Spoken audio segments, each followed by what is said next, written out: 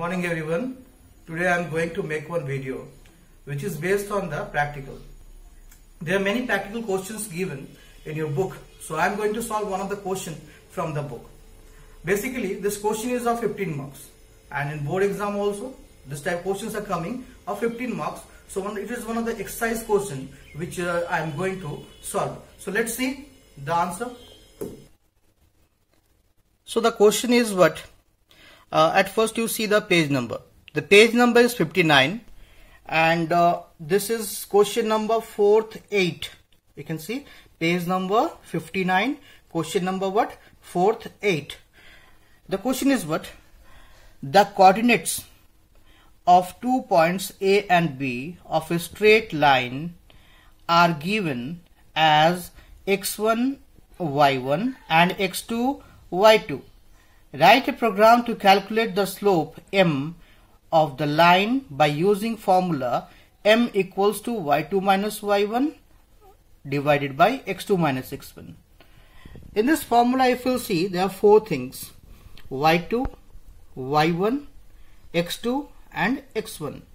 That means we need to uh, input all the four variables. Let's see the practical, the answer. I am solving this question by using scanner. So if you'll see the first line, this is import java.util.asterisk. That is the package declaration and thereafter I declared the class. The class name is what? ABC.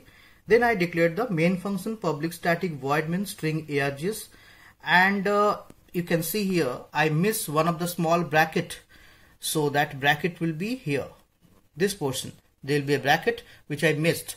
So please give when you write in your copy. After main there will be a small bracket here. And thereafter scanner.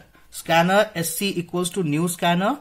That is uh, we have to write to make the object of the scanner. Then I am print I printed one message that enter the value of x1 x2 y2 and y1 now you can see here the four variables in front of you. That is x1 x2 y1 y2 all are integer type. That's why what is the line written by me? Sc dot next int.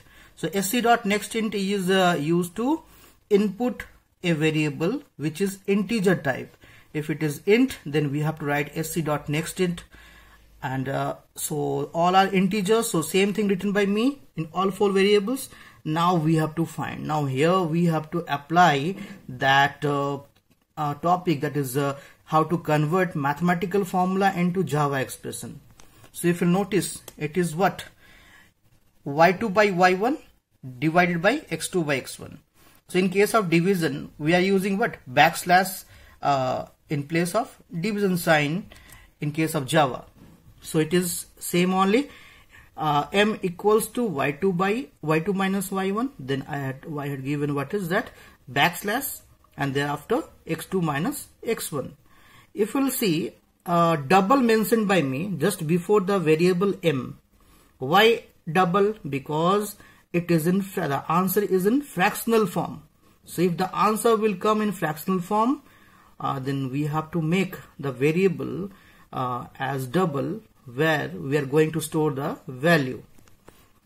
So just uh, this is the uh, finishing of the um, programming. And after the calculation we need to display. So I'm displaying that system.out.println what m because the all the value if you'll see the whole value is stored in m. So this m we need to print. So I'm printing m and thereafter two closing bracket you can see one closing for the main function and one for the class. I will show you one is that main function and one is class two closing braces are there so for that now I am requesting you all to write uh, the variable declaration. Very important. The variable declaration ICSE it is containing of two marks. So you all uh, know about the variable descriptions.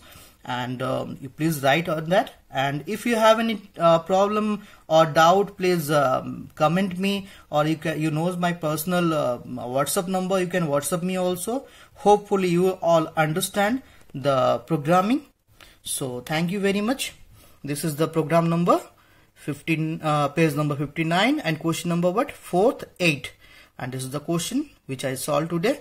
Uh, thank you very much everyone. Have a nice day.